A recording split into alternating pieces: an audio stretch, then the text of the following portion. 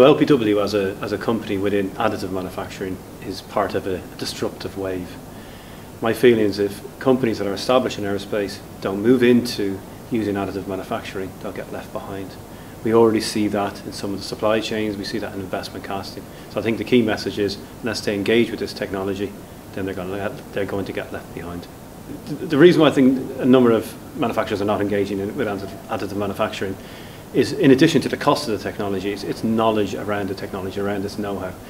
They don't know what it can do and they don't know its potential, but they don't, they don't know that its potential to disrupt what their current business is. So it's not that it can add to their business, it can actually, by not engaging, it will, it will severely take away from their business. But I think it's not strictly speaking through that companies are not engaging. There's plenty of companies that are engaging, that are qualifying parts. My feeling in a in an anecdotal sense is that many of those companies are not based within the UK. So I'd say non-UK based businesses are more advanced and more aggressive in their pursuit of this technology. Okay, so we're not a traditional materials company.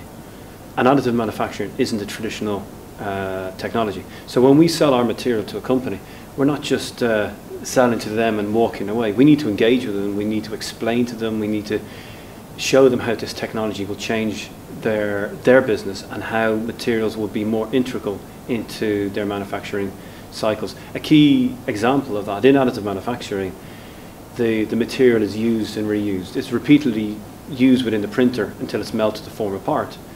So the first time that that powder is supplied to the, to the user, yes, we are the supplier. But actually the second time and the third time, the fourth time, we are no longer the supplier. It's the, the, uh, the customer themselves are now supplying that material back into that process. So all the risks and the liabilities and the problems fall upon them. So we need to help with them. We need to help them and engage with them to help solve those problems.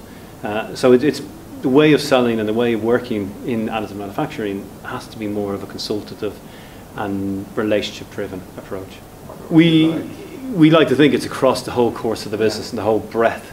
So we, we, we have actually divided our products into two ranges. One is what we call powder range, which is uh, very much a e-commerce type of business. You, you, the order comes in, it ships within 48 hours. The, the other one is powder life, and it's the whole, the powders, the products, the software, the sensors, the consultancy, and it's all merged into one. So we like to think that we're not just selling the powder, we are going in and solving those problems, but we don't do it in a way of, of a consultancy firm, it's part of the whole sale. It's part of the package that you get when you're when you're working with us as a business. Okay, first question: Why?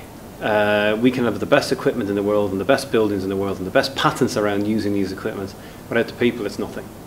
Uh, the people are, are, are the people are there that make our sales, that make our products, and develop our solutions. So people are integral how do we do it? Uh, good question. We're learning, we're trying, we're trying different approaches. I think the key thing that we look to do is engage with the person and empower them.